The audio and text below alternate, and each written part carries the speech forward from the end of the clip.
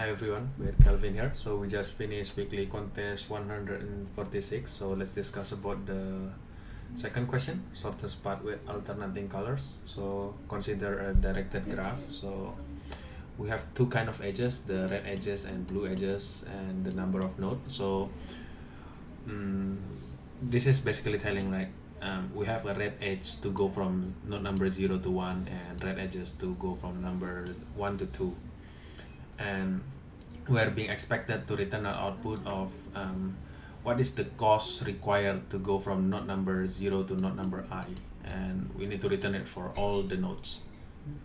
And then return a minus 1 if it's not possible to visit that node from node number 0 and additional constraint is like mm, we need to go with the alternate color like um, red blue red blue red blue like um, alternate. So yeah. Mm, that's why you can see here 0 to 1 and 1 to 2 so we can pick 0 to 1 so the cost to visit node number 1 is 1 but we cannot visit number 2 directly from here because 0 to 1 is using red edges. So to visit number 2 we require the blue edges which is covered on the test case number 4 0 to 1 red and then 1 to 2 blue. So and we return the cost so how we're going to do this is basically using a BFS so I, I make a class called path to remember like from node to node and what's the color of that path and then I have two variable to remember the cost um, to visit certain node if we are using the red line at the last and if we are using blue line at the last. So yeah um, here we store all the red, red edges and blue edges into the class called path with the color. One is red and two is blue. And then we basically go through the BFS so initially we mark um, to go to node number zero we require cost of zero. And then we look through all the path that is possible from node number zero. And then those destination path the cost is like from the current path the from plus one. The cost of the current node plus to visit current node plus one right?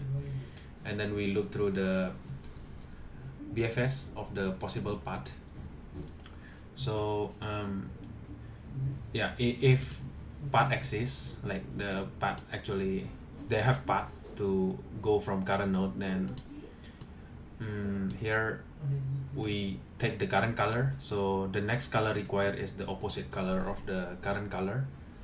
And then we take all the path that is possible from the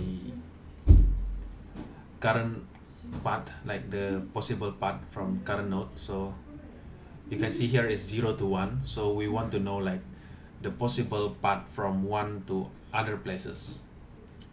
Right? So and the color need, to be the same with the color we expected to use. If we visit node number one by red then we want the next part as a blue right? So if it's not the same then we skip it. So yeah here you can see like we update the cost to visit node number let, let's say node number two. Is from the node number one the p from um, plus one the node number one plus one. And the other the opposite also apply like from blue from red of the current from like current node is visited from the red line. So the destination line from the blue line is from is like from current node of the red line plus one. And then we remove those use path and as you can see here we add the path to mark as use. So that's how we can prevent like the path being um, added again and again and causing the loop never end. And once it's finished then we look through the entire um, from blue line and from red line and we choose the minimum cost that you can arrive on certain destination by using blue line or using a red line.